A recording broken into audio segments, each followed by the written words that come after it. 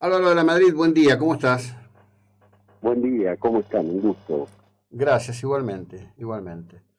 Bueno, eh, el gobierno no parece muy receptivo al mensaje de que al hijo no, ¿no? No, no, porque lo ha nominado, lo viene defendiendo y, bueno, eh, están los compromisos que anoche dijimos, hablamos en la marcha al frente a tribunales.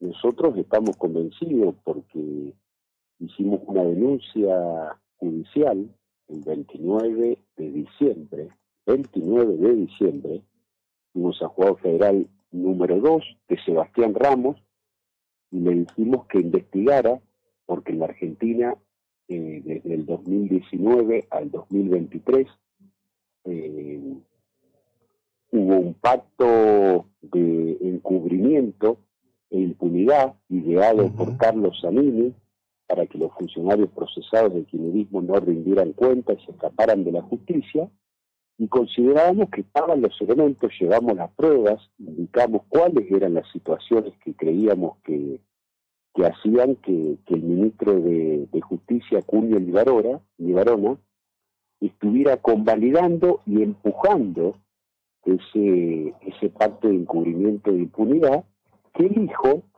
viene a, a, coronarlo, viene a, prolongarlo y viene a ejemplificarlo. El hijo llega a la corte eh, en un entendimiento del gobierno con el quimerismo para, para, para garantizar impunidad por las fechorías del pasado y por las que y por las que pueden venir. Por eso que el gobierno señala casi de manera vergonzosa que el hijo es un buen juez. El presidente ha dicho que eh, llega un hombre que expresa las ideas de la libertad a la corte. Y la verdad que hay que dejar de bastardear la palabra libertad, mm. porque la libertad no es impunidad, no justicia, eh, la libertad es, por el contrario, división de poderes y justicia. Sin justicia no puede haber libertad en la Argentina. No, bueno, a, ver, el, tema de, la cuestión de la justicia es un tema absolutamente pendiente este, de, esta construcción democrática de, algo más de 40 años, ¿no? Este, no, no hemos encontrado un modo afortunado de tener este, un esquema judicial que sea que sea probo, que, que sean, en, líneas generales, ¿no? Por supuesto, después siempre diremos, estarán las excepciones, las buenas personas, los, los, deseosos de que todo transcurra como corresponde, pero el hijo quizás es el botón de muestra de algo que está muy, pero muy mal. Sí, pero déjame decir que cuando hablas de botón de muestra, que es muy bueno, muy buena esa frase, eh, yo lo dije anoche en el acto, más allá del hijo, no podemos dejar de observarlo y de hacérselo saber a los argentinos, porque por ahí desconocen el tema. El hijo es la punta de un iceberg que esconde la voluntad del gobierno a través del Ministerio de Justicia y del ministro Junio Libarona de tener una justicia adicta y caricaturesca como fue con el menemismo, que Menem llegó a nombrar a su amigo y a su socio de un humilde estudio jurídico de La Rioja, presidente de la Corte, como Kirchner que llegó al, a la locura de poner a Carlos Zanini de presidente de la Corte en Santa Cruz, por eso que no hubo ningún condenado por corrupción en Santa Cruz. Y nosotros en la impugnación al hijo hemos recusado a Cunio Libarona, y lo explicamos muy bien anoche, Cunio Libarona no puede estar al frente, como lo está hoy, del proceso de selección de jueces, porque vos fijate eh, que el estudio Cunio Libarona ha defendido a notables narcotraficantes y se ha dedicado a defender políticos corruptos desde la década de los 90 con Amira Soma hasta la causa de los cuadernos. Tiene todo el derecho del mundo ese estudio jurídico de movilizarse en la defensa de narcotraficantes y políticos corruptos. Ahora, no puede estar a la vez del otro lado del mostrador y ser, y ser quienes estén armando las nominaciones de los centenares de jueces, fiscales y defensores que tienen que cubrirse en todos los juzgados federales de la Argentina. No puede Cunio Ligarona este, eh, llevar adelante ese proceso. Y en el del hijo tampoco.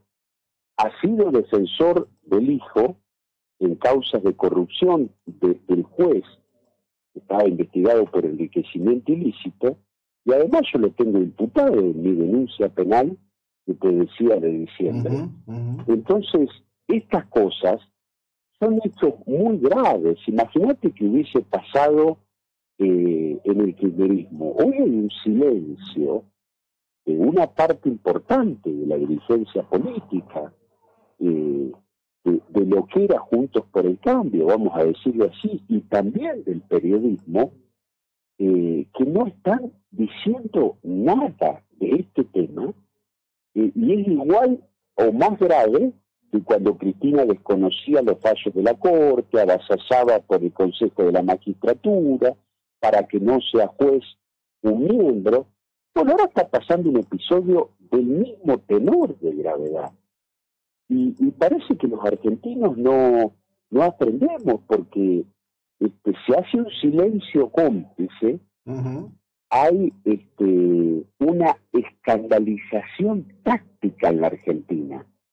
Y, y, no, la verdad es que es, es increíble que después de 20 años de kirchnerismo, estemos pasando por estas situaciones de vuelta.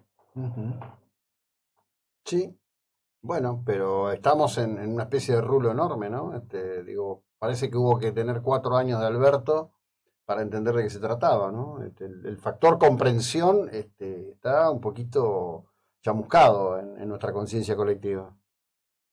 Anoche la gente que se congregó, que la verdad este, que no fue un número tremendamente significativo, pero fue, fue bastante gente, eh, y más teniendo en cuenta que, que, se largó a llover, que, eh, que, el clima no acompañó, pero me dejó la tranquilidad, no alcanza, uno sabe, tiene experiencia, pero por lo menos este, pude advertir que la gente que estuvo en la convocatoria, eh, tiene muy claro lo que se está jugando. Este, fue emocionante porque hay gente que nos entregó eh, impugnaciones hechas por ciudadanos comunes para que nosotros lo presentemos con María Eugenia Calerico, este, porque estuvieron circulando este, cómo hacerlas. Son escritos más o menos sencillos, pero hay que, hay que fundarlas y nos entregaron 92 impugnaciones de ciudadanos comunes que todavía la vamos a presentar porque esto hay tiempo hasta el 10 a la mañana, las dos primeras horas. Y bueno, eso es, este, también lo quiero destacar, porque eso habla de que, de que no todo está perdido, que hay ciudadanos que están comprometidos, que, que, que tienen muy, muy claro lo que, lo que nos estamos jugando con, con estas cosas, ¿no? Sí, claro, por supuesto. No, yo creo que el, a ver, el ciudadano de a pie, este, en, un número importante, la, tiene clara. El asunto es que acá hay una enorme cantidad de jugadores institucionales con poder que están mirando para otro lado. Exacto. Este por eso que el gobierno, este, que sabe quién es el hijo, que se, que se hace el, distraído, mí me indigna cuando el presidente, eh, el presidente dice, este, faltando la verdad, bueno, saben quién, quién encarceló a fue el hijo, como si fuera un paladín de la lucha contra, contra la corrupción. La verdad que el hijo no encarceló a nadie mm. eh, y solamente montó un show cuando ya no gobernaba el kirchnerismo con, contra un vudú en, en decadencia y en pijama pero no hizo lo mismo con la otra cara de la moneda, que era Silvia Infran la causa, la causa de Old Fan, eh, y el hijo siempre corre con el caballo de comisario, es decir, siempre, eh, incluso en sus falsos está agradando al poder, por eso el hijo le es confiable, porque el hijo le garantiza eh, el megafraude de IPS para pagarle al grupo mafioso que, no se, que nace Kirchner 16.100 millones de dólares, y le garantiza un montón de negocios subterráneos que muchos funcionarios de este gobierno, menemistas, funcionarios que estuvieron en el menemismo, y bueno, se regodean porque están viendo un nuevo plan de negocio y una ola privatizadora que van a llevar adelante,